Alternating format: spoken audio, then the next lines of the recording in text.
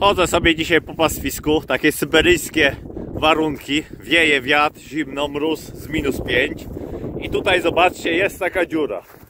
Co to jest za dziura? Już tłumaczę. Otóż się często mówi w starych ludowych porzekadłach dziura jak po byku. I to jest dziura po byku.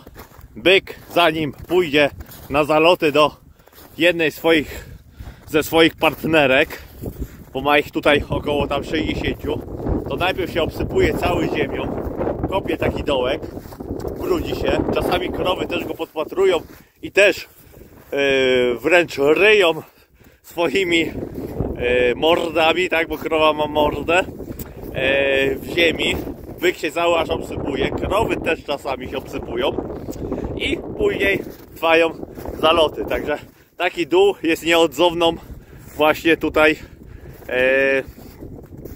nieodzownym e, wskaźnikiem na pastwisku, że bydło jest i bydło jest zadowolone. I trzeba uważać, szczególnie jak się robi prasy porowe, polowe albo się jeździ, żeby nie wpaść w taką dziurę, bo dziury są naprawdę duże. O, tu jest taka mniejsza, ale bym mógł iść całe pastwisko i wszędzie gdzieś są takie dołeczki pokopane i to są właśnie po byku albo czasami też po krowach, które też mają jakieś tutaj właśnie e, pomysły, żeby takie dziury kopać. A po co one to robią? No, w sumie nie wiem. Możecie oczywiście w komentarzach odpowiedzieć. Bardzo lubię czytać komentarze z odpowiedziami na takie pytanie. Absurdalne, ale ciekawe. Ale jeszcze Wam pokażę. Tam już Sawery czyści daleko beton, a pokażę Wam nowo narodzone znowu ciele. Tak. O, I mamy tutaj następną krówkę i znowu mały byczek się urodził. Także był Ferdynand, był Cycu, no to musi być no boczek, chociaż to tak nie trafione teraz, bo wiadomo co się boczkowi przydarzyło. Ale boczek jest taki chudziutki, malutki. Krowa też malutka. Musiał po numerach sprawdzić, czy to nie pierwiastka nawet jest. Ale zobaczcie, ładnie na śniegu wycielony. Piękny, czyściutki, suchutki. Zadbany cielaczek. Jest teraz minus 5. Ja wiem, że ktoś w komentarzu napisał, że nie powinienem tego pokazywać, bo tutaj się zjadą obrońcy praw zwierząt. No ale słuchajcie, obrońcy praw zwierząt. Te zwierzę sobie samo wybrało miejsce wycielenia. Ja mam ciepłą oborę pościeloną. Może się tam cielić, ale odchodzi od stada, tak jak mówiłem, najdalsze miejsce, czyli tam gdzieś tam daleko pod lasem się wycieliła a teraz sobie chodzi naokoło i nie zbliża się do stada. I taką wysnułem teorię, bo też poczytałem komentarze znowu. Różne tam były, że to ochrona przed drapieżnikami, ale mi się wydaje, że tutaj właśnie jest bardziej narażenie na drapieżniki takiego cielęcia, bo ono gdzieś jest dalej. Jest łatwym łupem dla wilka. Ale wiecie o co tu chodzi? Otóż ciele jak się rodzi, to jest bezbronne, jeśli chodzi o choroby. Dopiero jak się napije siary, nabiera odporności. I mi się wydaje, że takie ciele dlatego się rodzi, że matka go wyprowadza gdzieś daleko od stada, żeby ono po prostu nie zachorowało. I dopiero jak wypije siarę, nabierze odporności, to idzie gdzie?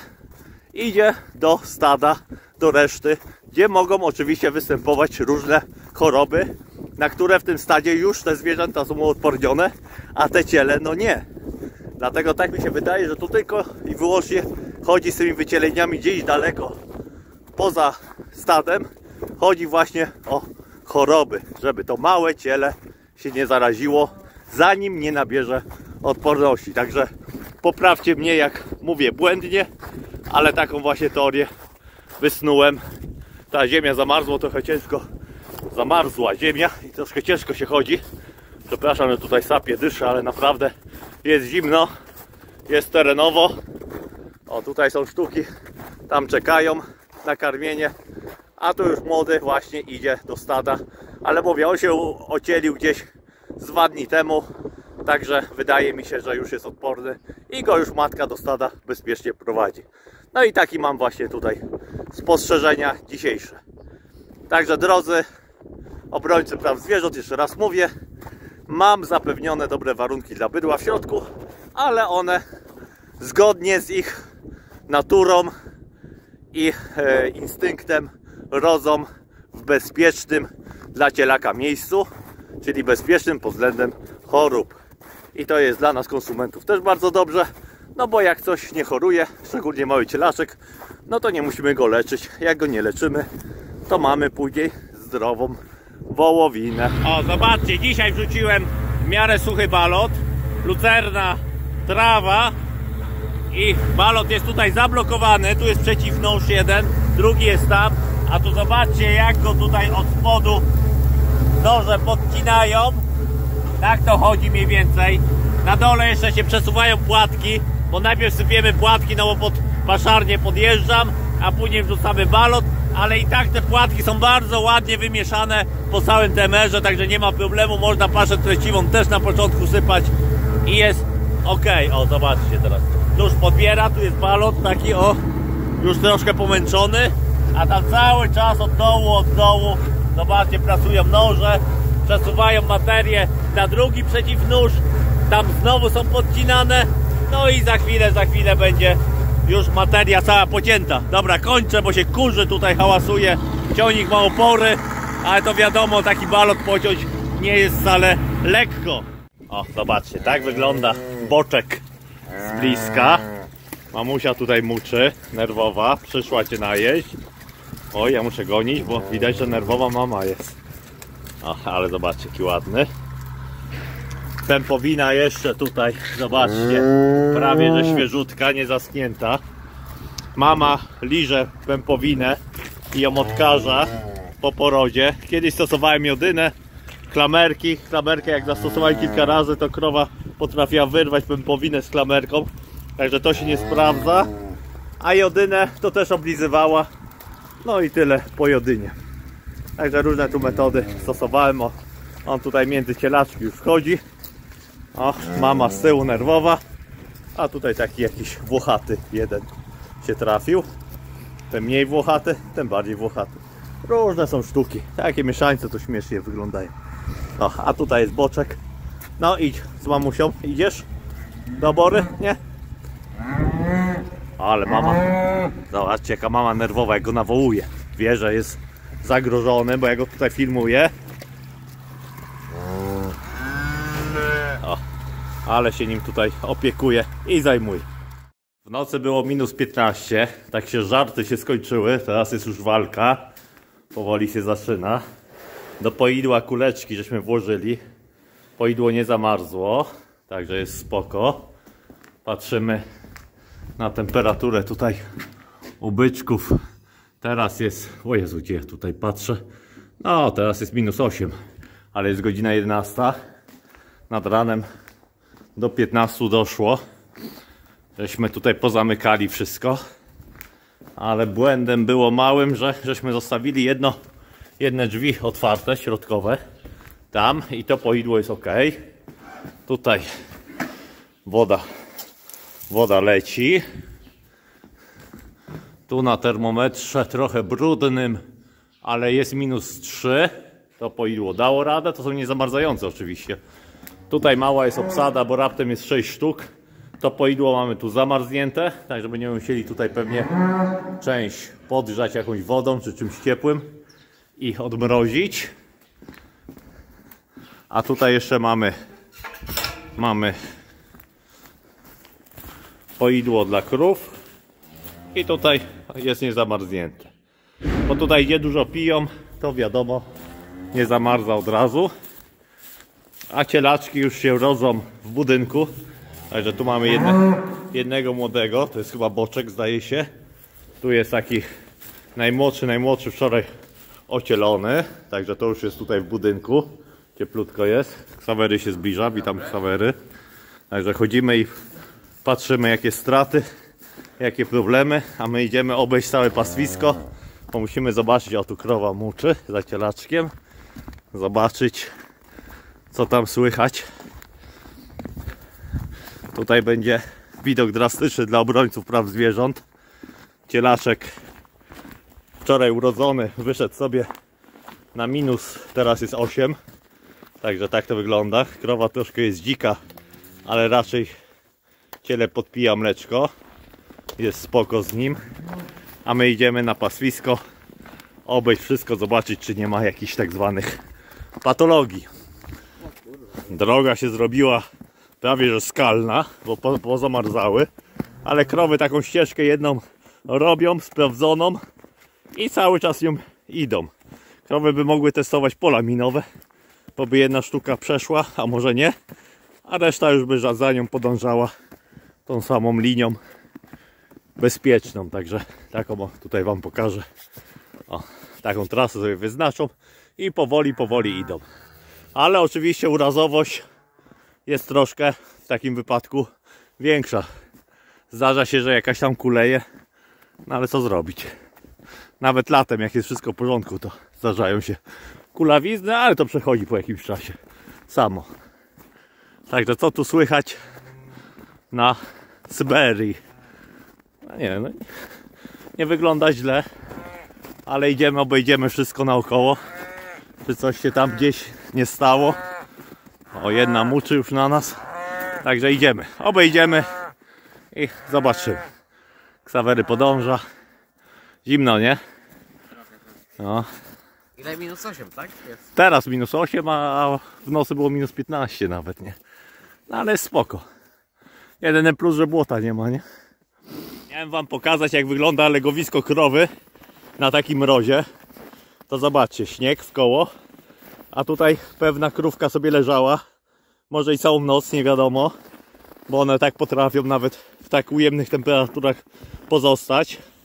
No i tutaj widać, na co idzie cała energia na ogrzanie legowiska. Jakby tu była słoma, to praktycznie krowa dużo mniej energii by nie traciła jak w ciepłym budynku, bo najwięcej właśnie tracą, no tak jak każdy, wiadomo, e, tracą na ogrzanie swojego legowiska, a tutaj są owłosione, skóra gruba, także mróz im nie straszny, ale legowisko wypadałoby, żeby było pościelone.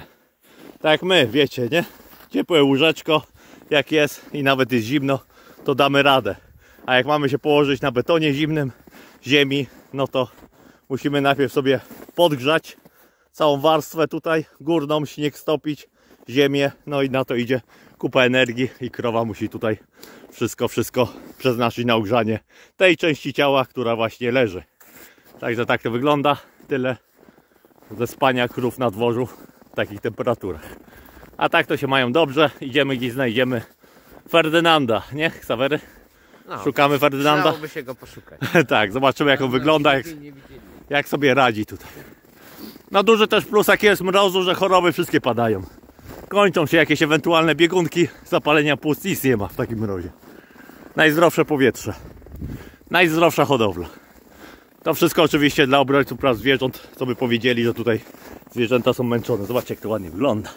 Jak tak się spojrzy to... O, takie jest 10 cm śniegu. Tam są jakieś cielaczki, także idziemy. Ale to jest samo zdrowie. To są zwierzęta. Bydło mięsne to takie można powiedzieć najbardziej prymitywne ze zwierząt.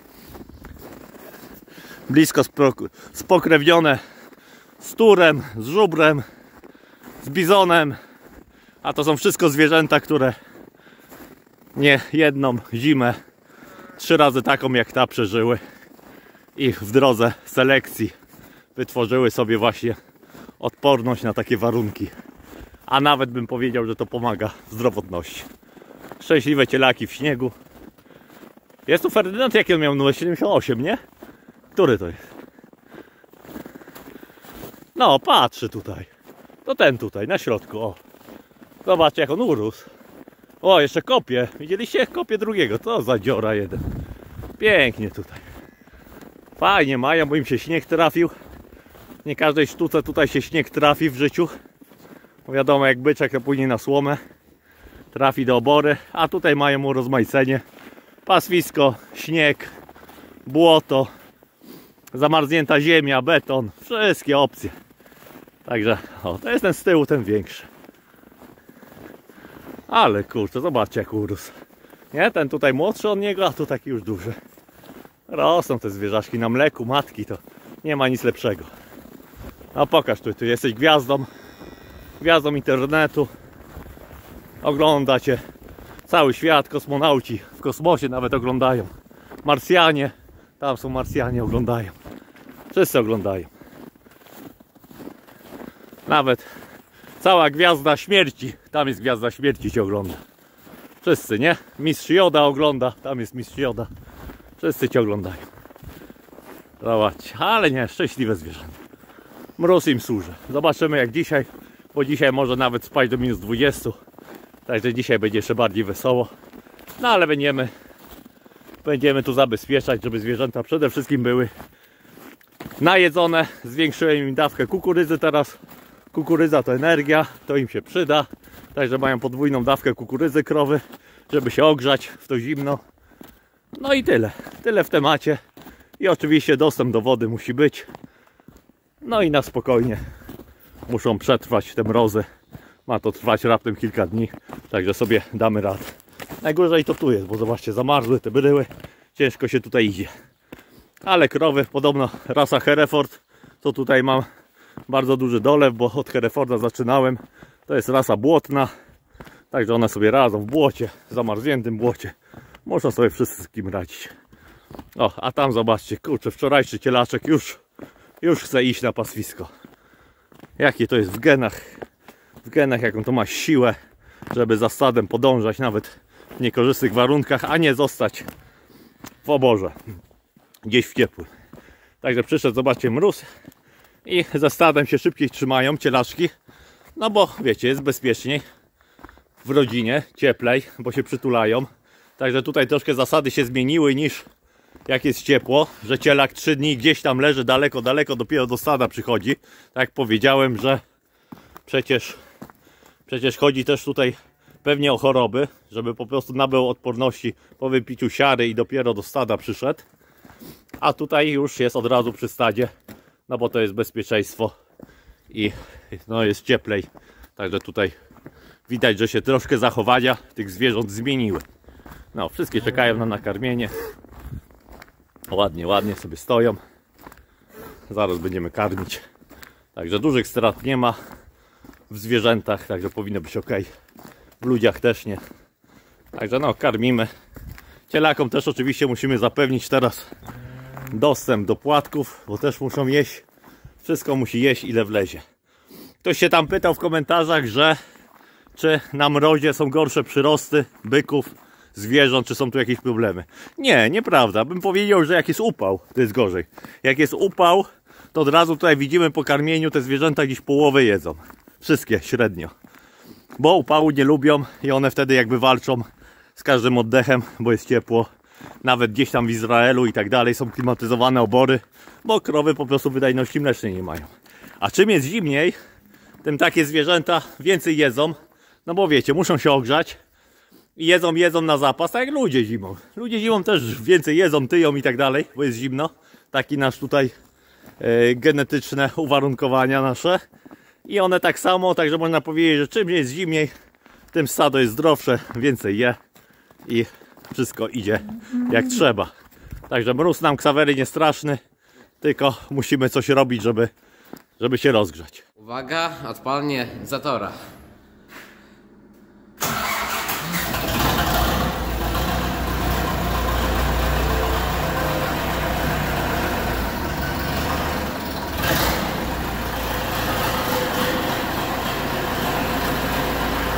No a tutaj widzimy zaletę suchej siano kiszonki. Zobaczcie, minus 15, nic nie zamarznięte, ok.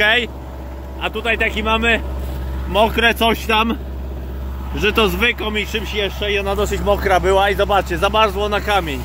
I teraz wziąć siatkę, wrzucić to do paszowozu, no to już nie jest tak prosto wcale. By trzeba to gdzieś taki balot ogrzać i dopiero go wrzucać, bo taki kamień no to szkoda paszowozu, a jak jest taka, taki materiał suchszy, no to nie zamarza, także no jest jakiś plus dodatkowy, nie?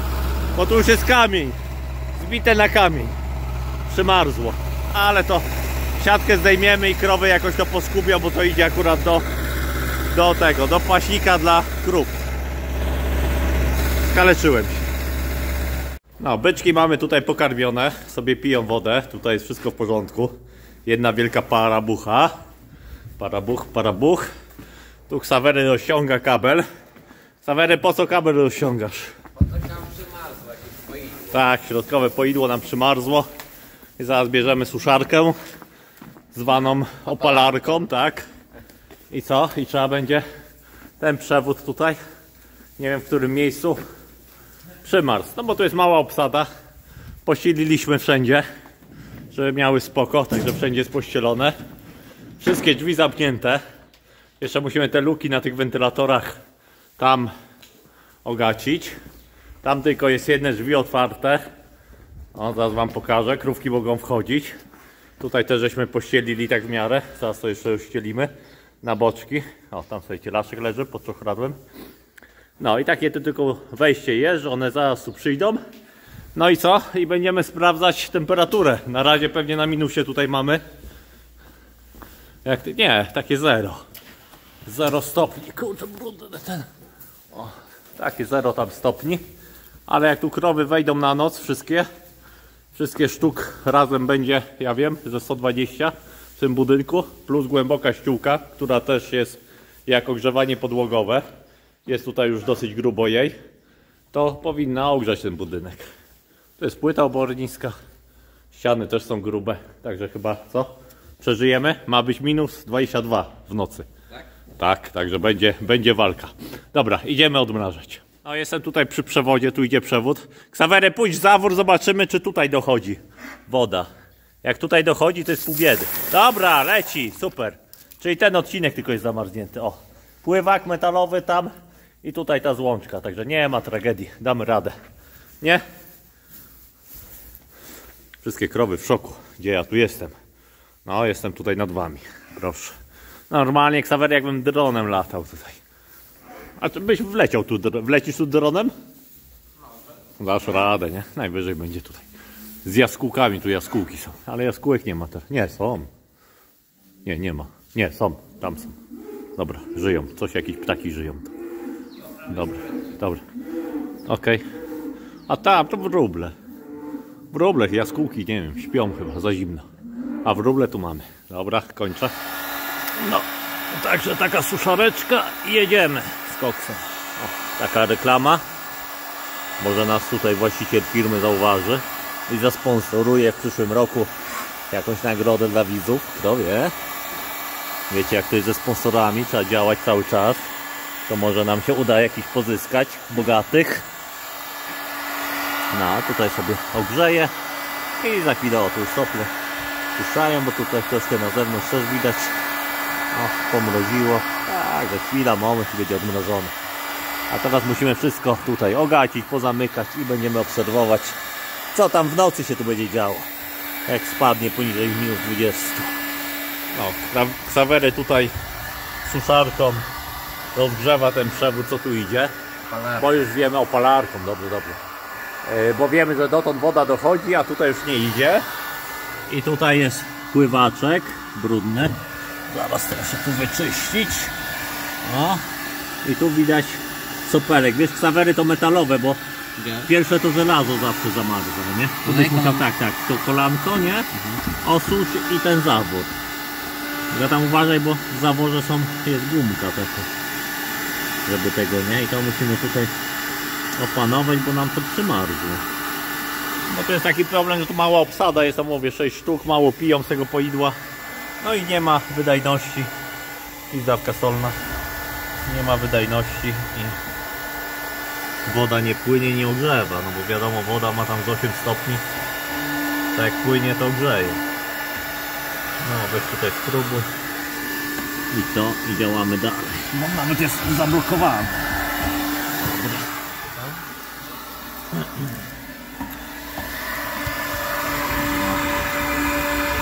O, widać się ładnie już rozpuszcza. Tak, że za chwilę nam się uda. O, powoli, powoli, woda leci. Ha, zaraz będzie sukces. Zobacz, Sawery, ładnie leci. Pływaczek. Powoli wraca do życia. Tak, zaraz przepuści woda, zrobi resztę roboty i będzie ok. A dzisiaj musimy naprawdę tutaj zabezpieczyć oborę, żeby było. O, tak się nie działa. Zawór, pływak opuści się i leci. Odgrzewanie trzeba zrobić. Tak, to szło. Ciach. Tak, leci. No i to zaraz się powinno to rozpuścić. O, Mała aktualizacja. Tutaj sobie ścielę tą słomę i podchodzę do poidła dla krów. A tu ciach pusto. Także tu też zamarzło pewnie ten metalowy tutaj przewód. To musimy to też odmrozić. A dlaczego tak się stało? No bo krowy teraz zajmują się chodzeniem po dworzu, jedzeniem od rana. No i przymarzło. Bo po nocy tutaj było pełno wody odmrożone. No ale jak jest poidło nieużywane, to zamarza od razu. Także tutaj też musimy się tym zająć, Ksawery. Także Ksawery idzie już ze suszarką i będziemy tutaj jeszcze walczyć z tym poidłem. No takie atrakcje. Musimy to wszystko pozabezpieczać dzisiaj. Pozamykać szczelnie, krowy wejdą, będzie ciepło. O, Poidło tutaj Ksawery naprawił. Ksawery już składa yy, opalarkę. Także ja tutaj w tym czasie sobie pościeliłem. Tam krówki już sobie czekają. Za chwilę będą wchodzić. I powinno się ładnie tutaj ogrzać w tym budynku. Także oby do jutra, bo od jutra już ma być cieplej. A powoli już się ochładza. Już tutaj śnieg trzeszczy pod nogami. Słońce, ale słońce. Mocne, czyste niebo. Samoloty widać. Latają. A zobaczcie tutaj niektóre sztuki, co tam poidło im, żeśmy odmrażali. Postanowiły sobie przyjść tutaj się napić nad staw. I sam jestem ciekawy, jak to tam. A tam obrońcy praw zwierząt nie patrzcie, bo to jest ten wczorajszy cielak. I to jest, a podejdziemy do niego. A co tam się będziemy przyjmować? O i zobaczcie, z mamusią idzie. Co prawda nagrywam pod słońce, no ale słońca nie przestawię do nagrania. Mama go już tutaj ładnie zaakceptowała, bo wczoraj takie miałem pewne obawy, ale już ładnie chodzą razem. I to jest w końcu dziewczynka, czyli mamy Halinkę. Także halineczkę mamy małą. Dziewczynka się urodziła, bo tak to same byczki były. O. Tutaj ok. Krawa, pastwisko żeśmy obeszli całe, wszystko jest dobrze. A tu idziemy zobaczyć, czy one faktycznie dały radę pić ze stawu wodę. Trochę znowu się zasapałem, sorry. Idę, idę. Zaraz zobaczymy. A pewnie sobie wykuły przerębel. No zobaczcie. Niesamowite zwierzęta. Jak poidło chwilę było zamarznięte, to od razu wiedzą, że gdzie przychodzić nad staw. O i tu zobaczcie. Teraz jest około 10 stopni na minusie. W nocy było 15, teraz mamy 20. One tu sobie przychodzą pić wodę ze stawu. Wlazły trochę, zrobiły przerębel, piją. Co do ciekawostek, to miałem kiedyś przypadek, że krowa wlazła tu na ten staw, zamarzniętą taflę i wpadła i wyszła. I żyje do dzisiaj. Także one nawet sobie radzą, jak wpadną do lodowatej wody. Przyszedłem, a tu taka dziura wielka. No to mówię po krowie, gdzieś tam jest. Zacząłem tak tam wstępnie przeszukiwać staw, ale patrzę, lata sobie mokra, jedna sztuka i nic jej nie było. Wysuszyła się, pobiegała na mrozie i jest tutaj do dzisiaj. Także tyle w temacie, jeśli chodzi o mróz i hodowlę bydła mięsnego. Taką pół, pół na wolności można powiedzieć. Tak to wygląda. Po wiele mamy pytań, co tu się dzieje, jak są minusy duże, a nic się nie dzieje. Normalnie dzień jak co dzień. Tylko, że zamarzają nam poidła. Taka różnica. No i musimy uważać na wszystkie cielaczki i tak dalej, żeby matki się nimi interesowały i żeby żaden cielak nie był głodny.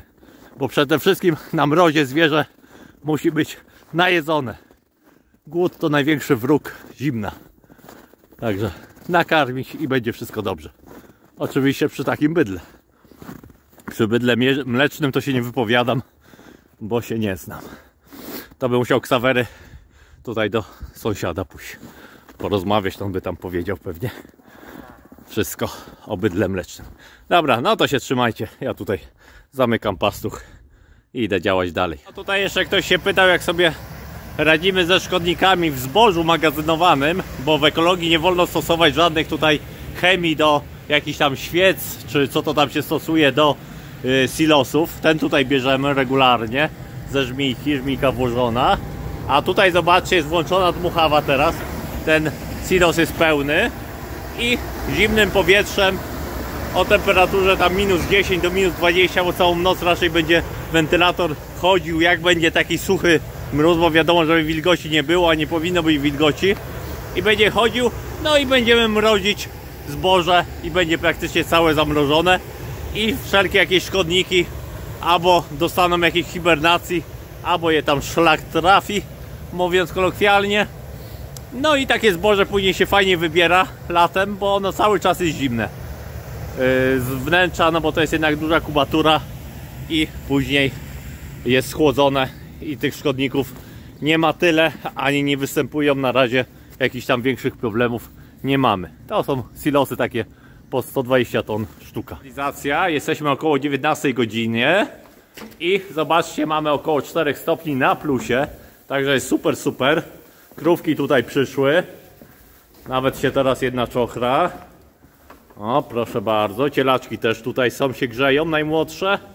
Krówki są z małymi, także wszystko jest jak trzeba, drzwi pozamykane, ciepło jest, możemy jeszcze przejść, zobaczyć do byków, ale tam już różnica temperatury jest kolosalna, bo tutaj na dworzu mamy minus 15, a u byków mamy pewnie gdzieś koło, koło ilu? Minus 11 zdaje się. Poidło daje radę. Maksymalna temperatura, jaką wytrzymała to poidło na dworzu, ono kiedyś było, nie pod wiatą, to minus 28 stopni. I jeszcze krowy z niego piły. A, nie jest źle, minus 11 na razie. Ale do rana pewnie spadnie tu do minus 15, a na dworzu do minus 20. Także tak tutaj wygląda. To oczywiście wszystko musimy zamykać. Znaczy byki nie, bo byki są tutaj na zimnym wychowie. I poidło zama- nie zamarzające. No tutaj też mamy w planie, ale te plany wiecie. Lata lecą, plany są. E, zmienić całą instalację wodną na niezamarzającą i wtedy potwieramy i niech będzie też tu zimny wychów, bo jeśli chodzi o bydło, to czym zimniej, tym lepiej dla nich, a szczególnie przy bydle mięsnym. Samo zdrowie.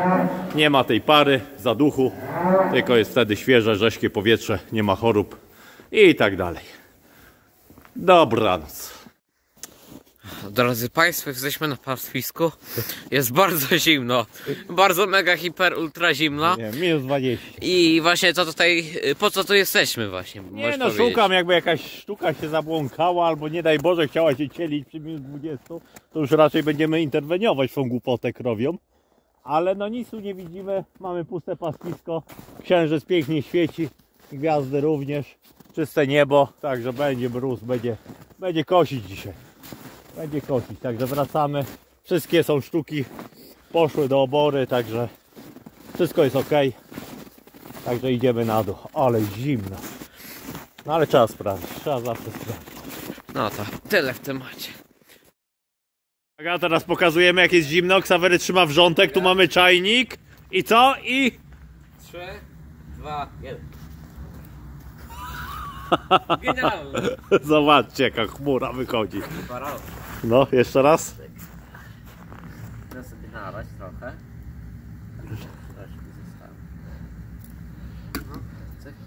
O, uwaga.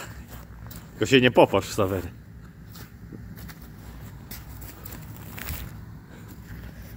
Ale efekty. Ha, ha. Dobre.